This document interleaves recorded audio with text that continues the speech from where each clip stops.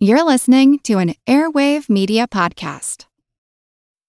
Fargo, the new virtual assistant from Wells Fargo, makes banking faster and easier. Like this. Fargo, what's my checking account routing number? And this. Fargo, uh, turn off my debit card. And this. Fargo, what did I spend on groceries last month? And that's just the beginning. Do you, Fargo? You can in the Wells Fargo mobile app. Learn more at wellsfargo.com slash get Fargo. Terms and conditions apply. Your mobile carrier's availability and message and data rates may apply. Wells Fargo Bank and a member FDIC. Hello, everyone, and welcome to History of the Great War Premium, episode number 37 Conscription of an Empire. Last year, I started doing some research into the attempts by the British government to extend conscription into Ireland in 1918. I ran into that topic while doing some research into the Easter Rising way back in 2016, and it ended up on my sort of look into this a bit more later list. Then, when I revisited the topic for a Patreon episode, I realized that the conversation about conscription in the British Empire is bigger than just Ireland. In the British Isles, including Ireland, and in Canada, New Zealand, and Australia, the people prided themselves on their patriotism, their volunteerism, and their freedom. With so many other countries in Europe and around the world resorting to mandatory military service and large conscript armies, the members of the empire saw their lack of that institution as a huge source of pride. When the war started, this meant a huge focus on volunteerism, but with the war going beyond the scope of anything that anybody could have imagined, volunteerism would only take the armies of the empire so far. To put it simply, they were losing more soldiers than they were gaining in volunteers, and so eventually the math did not add up and something different had to happen. When these changes were called for by the army and then enacted by the governments, it in some ways fundamentally changed the societies because it altered the relationship between the government and its citizens. Suddenly, young male citizens had a whole new host of obligations to the state, and they sacrificed some of their freedom because of it. They did not really have much of a choice in this sacrifice, it was forced upon them. In this episode, we are going to look at the attempts of the British government in London to extend conscription to England, Scotland, and Wales. And then we will discuss the efforts of the Canadian and Australian governments to also implement conscription. In all three of these areas, the path that conscription took was very different, and each government had its own problems to deal with when it came to make the decision on whether or not to push forward with conscription. Next episode, we will focus almost entirely on Ireland, where the conscription debate would have far greater effects than in any of the areas that we will discuss today. In Ireland, conscription would be added to just another in a long list of grievances that would eventually lead to the push for independence. When the war started, the British Army was very small by European standards, and this was because it was a professional army, not one made up of citizen conscripts. It was entirely volunteer based, and there was no framework in place to extend it into an army based on conscription. The British government and the people of the country just assumed that the war would be business as usual. The army would call for more soldiers, and there would be a large influx of volunteers that would be enough to sustain the war effort. This was not a problem in the opening months of the war because the number of men who volunteered was actually too many. The initial rush of volunteers began on the very first morning after Britain had entered the war, and over the course of the month of August, 75,000 men would volunteer every single week. This was far more than what the army was prepared to deal with, but they did not want to simply like close down the ability of men to volunteer out of fear that this would have lasting negative consequences. Instead of shutting down their recruiting offices, they instead decided to raise requirements. Both the minimum height and the minimum chest size was raised to a point where the number of volunteers who were accepted was brought down to more of an acceptable level. While this did stem the tide for a few weeks, it almost immediately had to be reversed because after the initial rush of volunteers, the numbers dropped very rapidly. After 75,000 volunteered every week in August, just 116,000 volunteers appeared for the entire month of September. In October, the minimum height was lowered to below pre war levels, and the age limits were also extended. But even with these changes, due to the number of casualties that were suffered by the BEF, and with the war looking to enter into 1915 with no end in sight, the British Army would be 300,000 men short of where it wanted to be at the end of the year. With numbers falling so far short, the government began an official recruitment campaign. Now, this campaign and other campaigns like it were full of what would become very standard propaganda fare for 20th century democracies. This included what is probably the most famous recruiting poster of all time, or at least it is when you include the very derivative Uncle Sam poster from the United States. I am, of course, referring to the Your Country Needs You poster featuring Kitchener pointing at the reader. This was just the tip of the iceberg when it came to British recruiting efforts, and all of it was coordinated directly from the national government, with the Parliamentary Recruiting Committee created to get as many men into uniform as possible. Over the course of the war, the committee would oversee the creation of 50 million mailings and posters. In many ways, these efforts worked, and by July 1915, volunteer numbers reached 2 million from the beginning of the war, although that number included volunteers from all over the empire. This would still not be enough, though, and so around the government, whispers of conscription started to be heard. At this point, it was still far too early for such a drastic step to be taken. Things were not yet desperate enough. However, the first step was taken in July 1915 when Parliament created the National Registration Act, while not actually involving conscription, did require all males of a certain age to register with the government. With the recruiting efforts not meeting their numbers, Lord Derby was brought in by Kitchener to head up the recruiting office, and he had a new idea. First of all, it should be said that Derby was a conscriptionist, fully supporting the implementation of conscription, which he believed to be completely necessary. He would also have, according to his private remarks, little actual faith that the program that would bear his name as the Derby Scheme would actually work, or at least work as well as the situation required. The Derby scheme worked as a form of direct peer pressure on every man of military age in Britain. Essentially, every single man who registered under the Registration Act was asked to attest that he would volunteer if he was directly called upon by the government. If he agreed to this attestation, he would receive two shillings and a special armband that he could wear around that said he would eventually be called to service. There were all kinds of caveats and guarantees that went along with this program. For example, the men would have two weeks' notice before they were called up, and every single man would be called up before any married men were. There were also exceptions for those men involved in the war industries. These men were even given their own special armbands that signified that they were contributing to the war in the way that their country needed them to. This scheme was presented to the government and was accepted, although Bonar Law, the the leader of the Tories, who were all strong conscriptionists, made it clear that they only supported it with the understanding that if it failed, conscription must follow.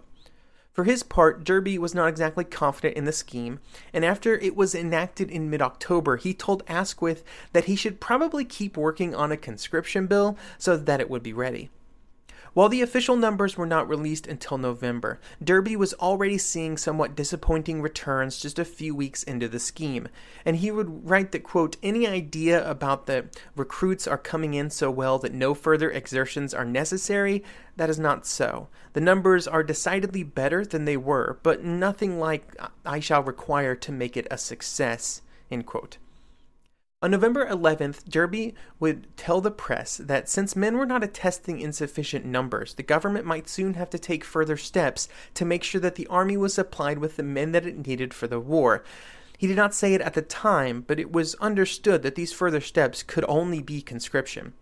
At roughly the same time, the end date for the scheme was extended to December 11th, at which point it would end, and it was quite disappointing.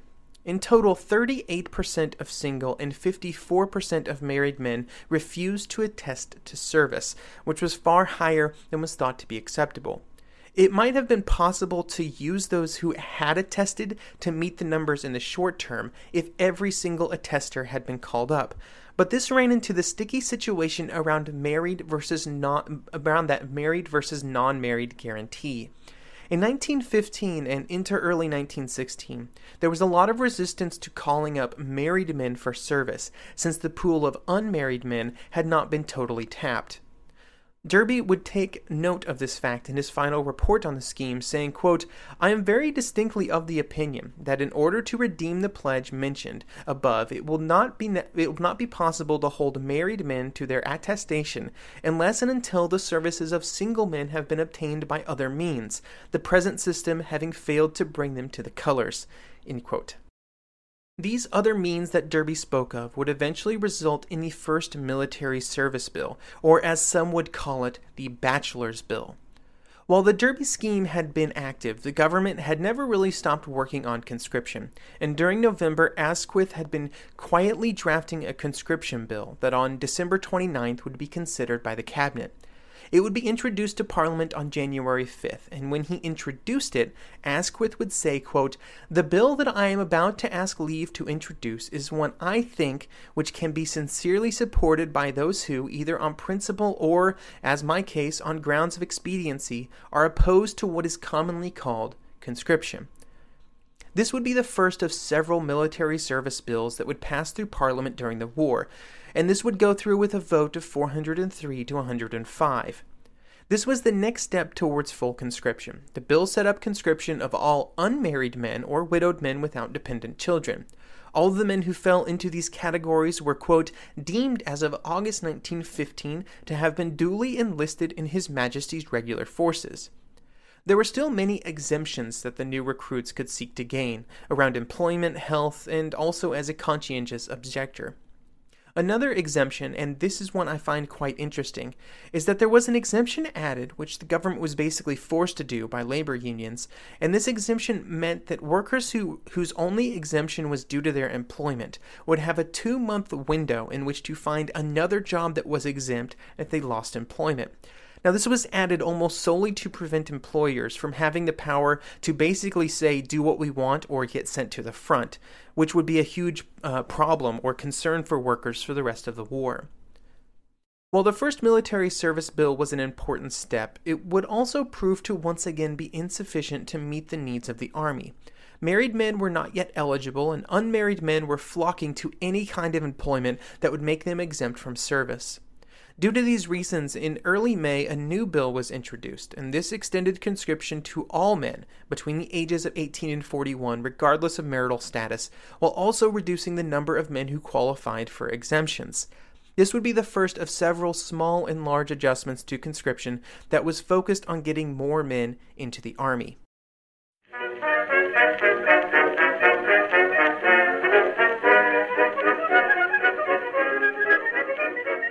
The one truth about human history is that change is inevitable.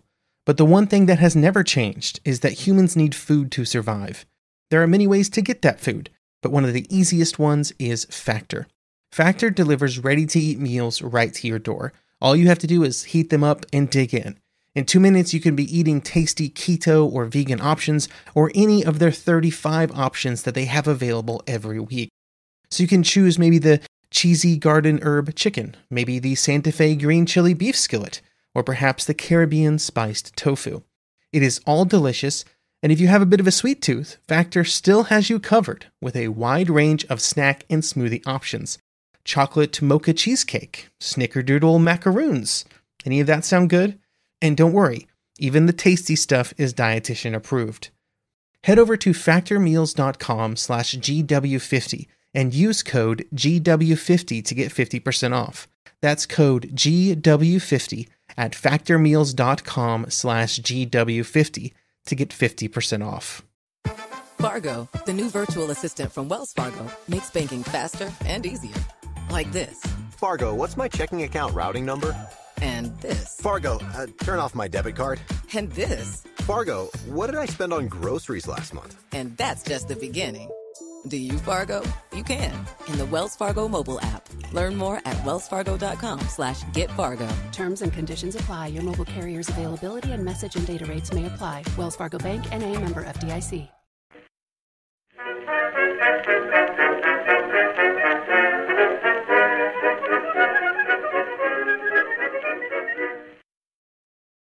While the various military service bills would take care of the problem for the most part, for the rest of the war there were still other discussions that needed to happen. In 1917, the government moved from military conscription and onto a far more controversial topic civilian conscription. The war was taxing the industrial power of Britain in ways that nobody had anticipated, and to make the economy as efficient as possible, it had to be organized, and this meant at times people doing things that they did not want to do. This was the starting point for discussions about a civil service conscription bill. Labor was strongly against such a scheme, and they were already very concerned about all the various privileges that workers had already lost due to the various wartime pieces of legislation. This worker anxiety would come to a head in May 1917, when strikes would sweep through the factories. The fierceness of these strikes delayed the possible implementation of civilian conscription, although it was not completely ruled out. The opinion of the government was that it should just be tabled for the moment until the people could be fully convinced that it was necessary. In 1918, with the manpower situation reaching a new level of seriousness, another military service bill was introduced. This one removed many of the remaining exemptions based on occupation, while also removing that two month buffer for men no longer employed in war related industries that labor had fought so hard for back in 1915. In April, yet another revision was made that once again reduced the remaining exemptions, a measure forced upon the government by the German spring offensives. However, the provisions from both of these new bills remained mostly in a, store, in a sort of unenforced limbo throughout the summer due to resistance to them from labor groups. Fortunately, the war would be over before the situation was pushed any further. The debate over conscription would come a bit later in Canada than it had in London. It would not be until late 1916 and early 1917 that it really started to heat up. The starting point for these discussions would come after Prime Minister Borden returned to Canada from a meeting in London to discuss war policy. At that meeting, he would report that, quote, conscription has been and remains an unhappy word. No farmer, laborer, or student, no husband, father, or brother will ever be pleased to be taken from his family or livelihood, exposed to dangers and discomforts far from home, and then, if he has survived the vicissitudes of war, demobilized with little compensation. With the Canadian divisions needing more men and volunteers drying up, the Canadian leaders were also forced into doing something, much like the leaders had been in London. This first resulted in the introduction of registration requirements in early 1917. Borden would then head to London again in May 1917, and when he returned, he had decided that conscription was necessary. It would take about a month to get a bill drafted and introduced. This bill would make all male British subjects between the ages of 20 and 45 eligible to be brought into the service. It also set up exemption tribunals that could exempt anyone or no one. There were no really limits or guidelines on them. One of the concerns of the conservatives in Canada, who were in control of the government at this point and who also fully supported conscription, was that there was going to be an election in Canada in late 1917. They were concerned about this election due to the unpopularity of the conscription bill that they had just introduced and passed, and in many ways the election would function as a referendum on conscription. To try and get around this small little problem of voter opinions, they introduced the Wartime Elections Bill. This bill would allow mothers, wives, sisters, and daughters of soldiers to vote in federal elections, but it did not extend suffrage to any other women. In this way, by allowing certain women to vote, and it was of course the women that were most likely to agree with conscription, the conservatives were able to sort of hmm, stuff the ballot box. They also worked with the British government and General Haig to make sure that every single Canadian unit was given time out of the line to vote, since roughly 92% of soldiers in Europe supported conscription. With so much working, with so much work going into keeping the conservatives in control of the government, they were successful. However, there were still some problems with the conscription bill that had passed, and the biggest problem was the exemption structure. Essentially, it allowed for local exemption tribunals, not national ones, and this meant that in areas that were strongly against conscription, huge percentages of people who asked for also received an exemption for a whole host of reasons. All around Canada, but especially in Quebec, more than 90% of those who were conscription would ask for an exemption, and a huge percentage would receive it. During 1917, of the 380,000 men who asked for an exemption, 278,000 would receive it, and this greatly reduced the number of men who were actually brought into the army through conscription.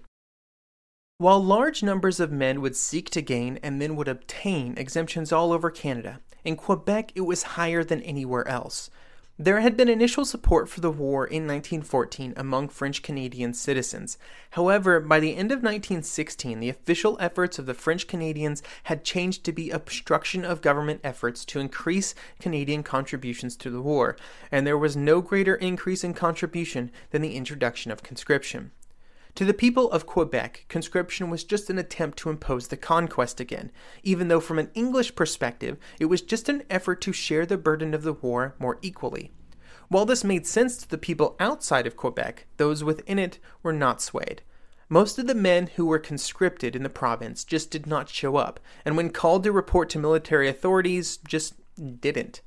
Local police forces then resisted calls to go round them up, and all of this resistance came to a head in early 1917. Over Easter weekend, over 3,000 would attend speeches, generally anti-conscription speeches.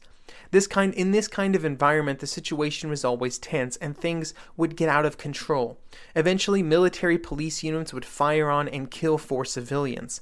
Over the next several weeks, the violence would escalate. Mobs would move through the streets and vandalize those businesses who supported the government policies, and violence would continue throughout the summer months. Quebec was a stronghold for anti conscriptionists, but it was not the only area where there was concerted resistance to conscription. This resistance would redouble when the government tried to fix what they saw as the biggest problem with the current law, which was exemptions. Their attempt was to remove almost every single source of exemptions, leaving only the exemption for family members of those soldiers who were already overseas. This change was made through an order of council, not as a proper law that moved through Parliament. When it was put into effect, it was almost instantly challenged through the courts because it was believed that it overstepped the authorities of the cabinet. As courts started to rule against the new changes, it quickly moved up through the courts.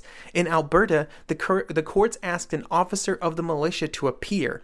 However, his commanders confined him to barracks. When the court issued an order for his arrest, the military then posted guards and machine guns outside of those barracks to prevent the civilian authorities from entering. Now, eventually, the law would be supported by the Supreme Court, which ruled in favor of the government, but it would still prove to be a very unpopular change. We now shift to the land down under. I believe that Australia has the ability to claim that it is the only country during the war to put conscription, specifically overseas conscription, up for a vote of the people.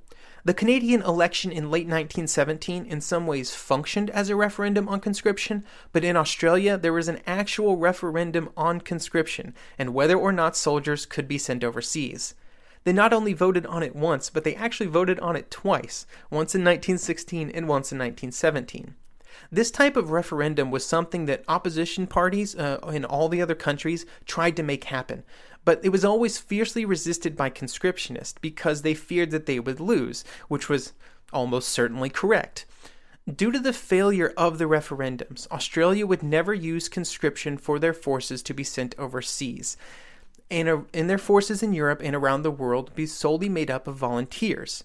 If you ever forget this fact, don't worry. Every Australian that you meet will, you, will remind you of it if you discuss any aspect of the war with them for very long. Don't worry, Australians, you're great. I still love you, but you talk about it a lot sometimes. Due to how unique these two measures were, let's talk about them for a bit. The Australian government was quite divided on conscription in 1916, and that made it difficult for any legislation on the subject to get through. After the vote had failed a few times, it was referred to a committee, which would eventually result in a referendum. A key point of the referendum is that it was not a constitutional question that required the referendum. The government had the ability to enact the legislation that it wanted. It was also not a referendum on universal service, because that had been in place in Australia since 1909, which is the year that all military aged men in Australia started to receive military training and then spent some amount of time in the army. The key part was that was that in the Defense Act of 1909, it explicitly stated that the men could not be used outside of Australia unless they volunteered for overseas service. The referendum was therefore not uh, was about amending the Defense Act so that these troops could be shipped out, mostly to Europe. There was widespread and diverse opposition to this referendum, and due to that reason, it would fail, although it was a close run thing. After the defeat of the first referendum, the supporters of conscription uh, tried to f- find who to blame for the failure. One of the targets would be blamed on the Catholic Church, and especially the Irish Catholic voters of Australia, which made up roughly 22% of the total vote count. After the vote, Hughes uh, would become somewhat obsessed with the part played by the Catholic Church in the vote. However, by singling out this specific group, Hughes was mostly just looking for a scapegoat. There was a much larger opposition to conscription among working class Australians, which were primarily Protestant, not Catholic. The labor unions and workers' groups were also very good at organizing and motivating their workers, and it was the primary reason that the referendum failed. Not to be done with it, though, after the Hughes government fell and was replaced in 1917, there was another vote, and this time it failed by an even, even greater margin. There would not be a third. One other area that introduced conscription was New Zealand. Here, the government would pass its own version of the Military Service Bill in May 1916, and it would experience little resistance.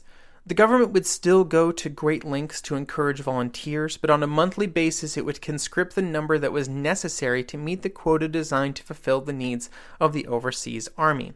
It was a good system that a lot of people didn't like, but didn't quite see the amount of resistance that you saw in Australia or Canada.